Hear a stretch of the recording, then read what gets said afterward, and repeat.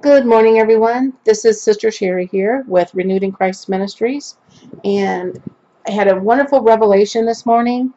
And um, I was doing my video Bible study for today on faith. And I was talking to my husband about the Bible study. And this just, God just put it right on my heart today, just out of the blue, as I was telling him about the Bible study. So I knew this came from him, and what a wonderful revelation that this was. Um, it's about binding and loosing.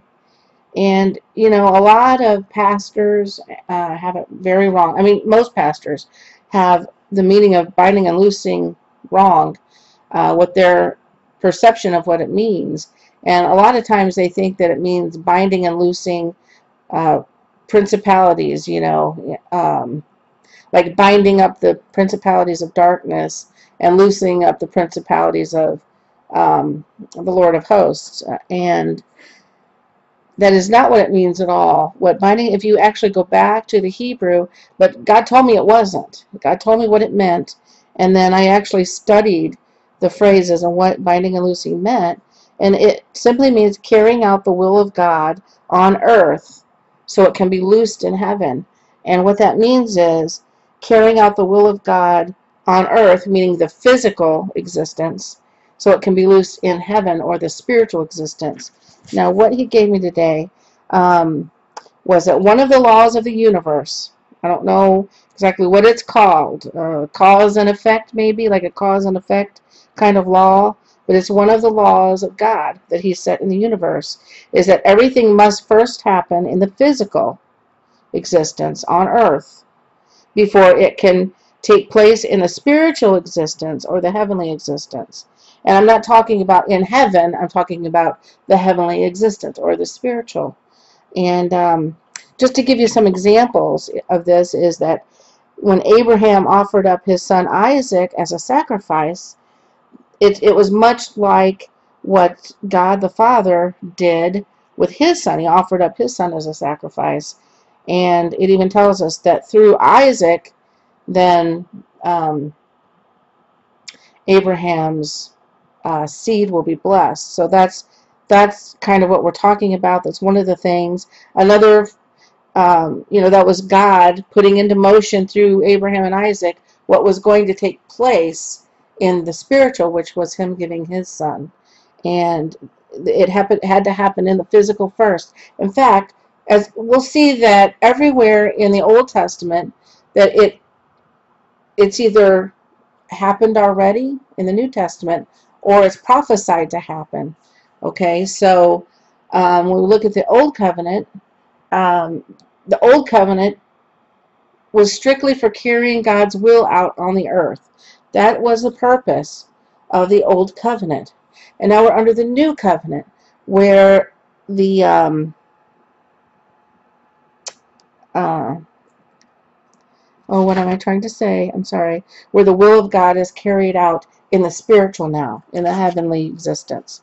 Okay, so I, I mean, just everything that happened was a foreshadow. I can give you more examples, like the Israelites um, being commanded to put the blood, the, the blood of the lamb, over the doorpost, uh, over their doorpost at Passover, um, so that the, uh, the spirit of death would skip over their homes uh, when the plague of the firstborn uh, was issued or administra- administered by God. And um, so the blood of the Lamb covered them, and they did not die. They lived.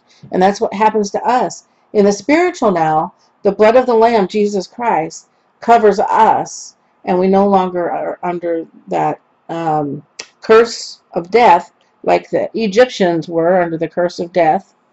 Uh, we are um, under Christ's blood and a covering so we, we live. And, you know, that's just one of many. The very giving of the Torah itself had to be done before the law could be placed in our hearts.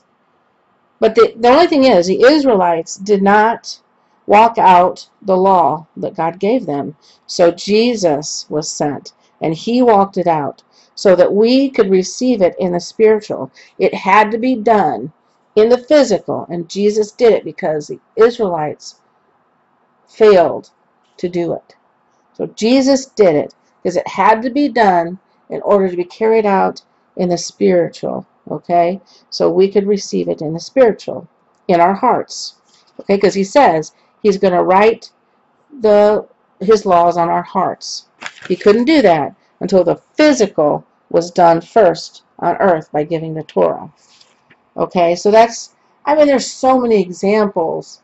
I mean, Joseph and his sons, um, who were Egyptian, you know, it, it, it was all a foreshadow. Um, the Israelites were all a foreshadow. Everything was a foreshadow for either what already has come in the spiritual or is prophesied to come. So that is what God has put on my heart that it doesn't mean binding and, and loosing doesn't mean binding spirit uh, principalities of darkness. It means, or binding Satan, okay? Because I, I don't know, I don't know that we have authority to bind these things because God, or to bind Satan anyway, because God gives him the authority um, to accuse us and to try us.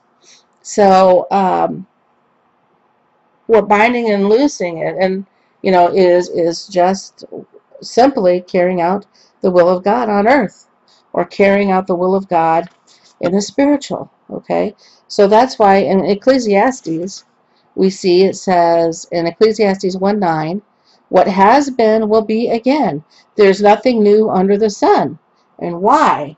Because God's will is for everything to be done. His plan, okay, his whole plan, he carries out on the earth in the physical, which he did in the Old Testament times, in the Old Covenant. Now, under the New Covenant, everything is manifesting in the spiritual. Okay, so nothing new under the sun or will manifest, you know, yet to be manifested. Okay?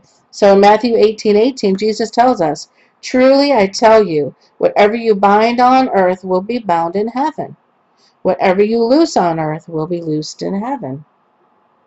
Okay? It's it's it's quite simple. It's carrying out the will of God, either in the physical.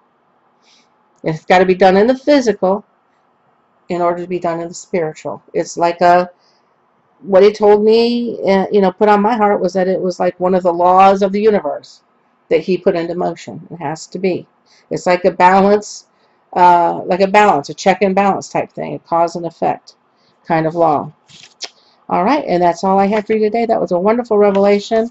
And um, if you could just click and share the video, um, I would really appreciate that to get the message out. Um, because we don't, you know, this may um, may not affect people, you know, this very message, but these it's these little revelations that come from the Spirit within us, the Holy Spirit within us, is that He's trying to um, reveal to everyone. So we must pass it on. Okay? So that's all I have for you today.